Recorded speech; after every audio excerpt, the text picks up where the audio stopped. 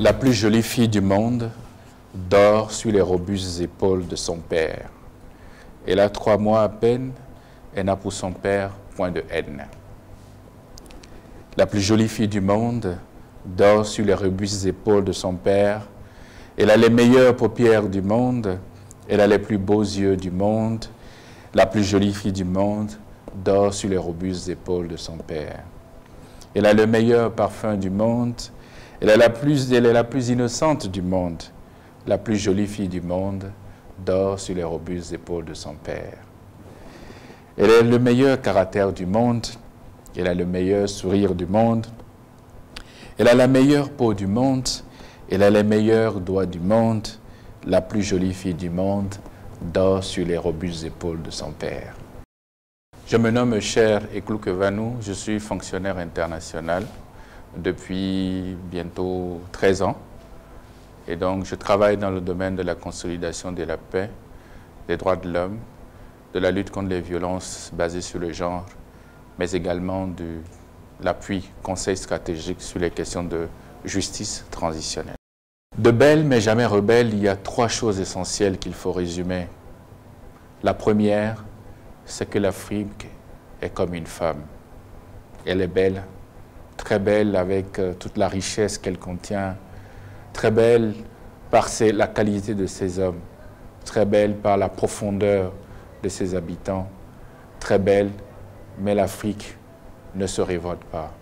Parce que l'Afrique estime que la violence n'est pas le langage approprié, que c'est le langage des plus faibles. Et elle continue de se battre malgré tout, en dépit, en dépit des vicissitudes, elle continue d'espérer que demain sera meilleur à aujourd'hui. La deuxième chose qu'il faut retirer de cette œuvre, c'est la femme en tant qu'être. La femme en tant que création, en tant que créature si extraordinaire avec tout ce qu'elle a, tout ce qu'elle porte et ce qu'elle peut nous apporter pour notre continent. On ne peut pas écrire l'histoire de notre continent si on exclut la femme. Et Sundiata Keita même l'avait déjà compris lorsque, dans la charte de Kurukan Fuga, elle disait nous devons associer les femmes à la gestion des affaires quotidiennes de nos cités. La troisième chose, je célèbre l'amour. La femme dans la maison, c'est comme le sel dans la sauce. La femme, à côté d'un homme, apporte la paix du cœur et la tranquillité de l'esprit. Ces trois éléments résument bien belle, mais jamais rebelle. Le principal message qu'il faut faire passer à travers Belle mais jamais rebelle, c'est que nous devons être ensemble. Si nous voulons avoir un monde où il fait mieux vivre, parce que nous ne devons pas aussi non plus tout regarder en noir, où il faut mieux vivre, il faut associer à la fois les hommes et les femmes dans toute leur diversité, dans toute leur force, dans toute leur culture, et dans toute leur spécificité. Parce que c'est de cette diversité-là que va naître le bonheur durable.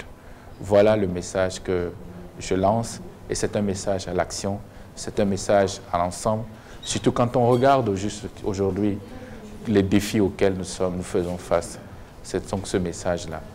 Le prochain ouvrage qui est en écriture actuellement, c'est mon combat pour la dignité.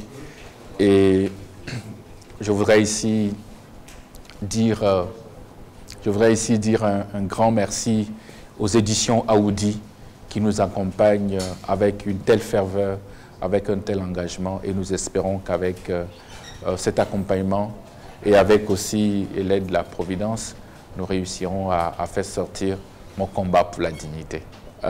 nous allons attendre janvier et je vous dirai ce qui se cache derrière mon combat pour la dignité. Et merci beaucoup pour euh, le travail extraordinaire que vous faites euh, pour soutenir euh, les jeunes auteurs Africa 24, une chaîne d'excellence. Et on vous remercie parce que la communication, elle est fondamentale. Et sans vous, on ne peut pas porter haut le message de la paix.